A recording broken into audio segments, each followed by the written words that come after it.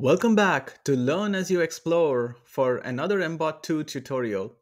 In the last video, we built a program for the night patrol robot where the robot moved in the dark and stopped when the lights came back on. Today, we'll learn about the quad RGB sensor and how it detects lines. This is important for our future line follower robot project. There is no coding in this video, just the key concepts that you need to understand first before we get to programming. Let's jump in. Before we get into the theory, let's first look at how the quad RGB sensor appears in the mblock web editor. Go to ide.mblock.cc. And as always, we will first add the mbot2 robot. Now that we have the MBOT2 robot added, let's scroll down to the Quad RGB sensor category and drag this block onto your workspace. This block has three settings. The first setting is the sensor ID. If you have multiple Quad RGB sensor modules connected, you can choose the one that you're interested in. For the standard MBOT2, let's leave this as 1. Next, there's the detection mode setting. Since we're interested in detecting lines, we will leave this as line. And finally, we have our status value setting. This tells us what the sensor sees using numbers from 0 all the way through 15. The numbers also have a binary form shown to the right, which is key to understanding how the sensor works. Now let's go over what these numbers mean. To do that, let's first review what the quad RGB sensor is. Here is a picture of the MBOT2 robot, and this is the quad RGB sensor as it is mounted on the MBOT2 robot. Let's take a look at what the quad RGB sensor looks like before being mounted on the robot chassis. This is what it looks like, so now let's take a closer look. The sensor module has four small sensors labeled L2, L1, R1, and R2. These are the four sensors, and this is why the sensor module is called a quad RGB sensor, where quad means four. Each of these sensors can detect two things. First, they can detect if there is a line underneath the sensor, and second, they can detect what the color of the surface beneath the sensor is. The color is defined by the amount of red, green, and blue light that gets reflected by the surface, and the sensor measures this amount of reflection. We'll cover color detection later on. For now, let's focus on line detection. Here's another look at the quad RGB sensor. If we split the sensor in half, there's a left side and a right side. The sensors on the left are identified as L1 and L2, and the sensors on the right are identified as R1 and R2. L1 and R1 are the left and right sensors respectively that are closest to the center of the sensor, whereas L2 and R2 are the left and right sensors respectively that are furthest away from the center. Each sensor reports a 0 or 1 value, where 0 means there's no line detected and 1 means that there is a line that's detected underneath that sensor. So let's go through some examples now.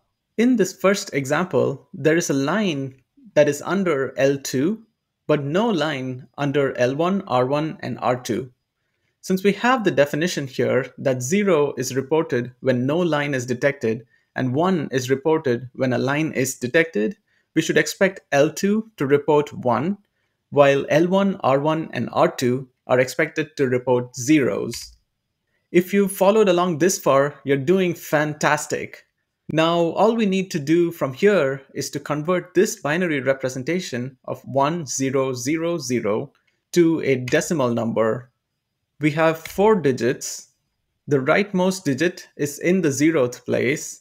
And going left from there, we have the first, second, and third places. Since these are binary values, we use the powers of 2, where 2 is the base and the power is the place of the current digit within the binary representation. Hence, for R2, it would be 2 to the power of 0, which equals 1. For R1, it would be 2 to the power of 1, which equals 2. For L1, it would be 2 to the power of 2, which equals 4. And finally, for L2, it would be 2 to the power of 3, which equals 8. To convert this binary representation of 1000 to decimal, the last step would be to multiply the binary value with the power of 2 corresponding to it and sum up all of these products. This looks something like this. So here we're doing 1 times 8 plus 0 times 4 plus 0 times 2 plus 0 times 1. And this, when summed up together, gives us the decimal value of 8. And this decimal value of 8 is the representation for the situation where there is a line under L2, but no line under L1, R1, and R2. Let's now take a second example to drive this home. In this example, there is a line under L1 and R1, but no line under L2 and R2.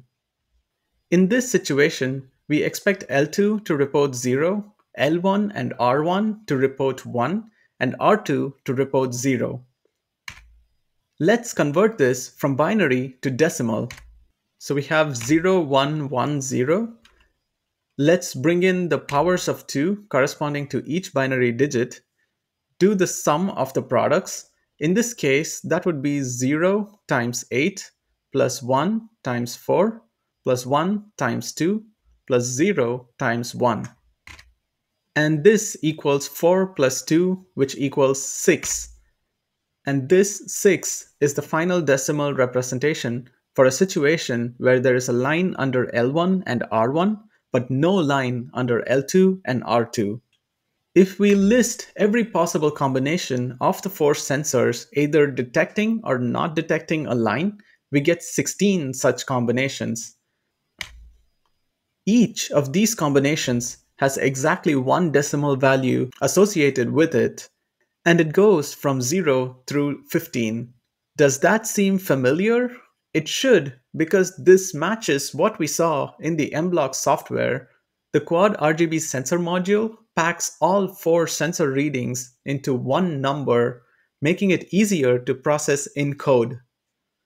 Pretty cool, right? Congratulations! You've gained quite a lot of knowledge about how the Quad RGB sensor works in this video.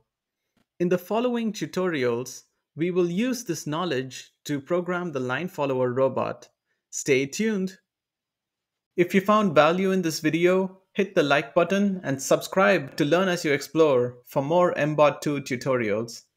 Here are some of my other videos that you may find helpful. Happy programming, and I'll see you in the next one.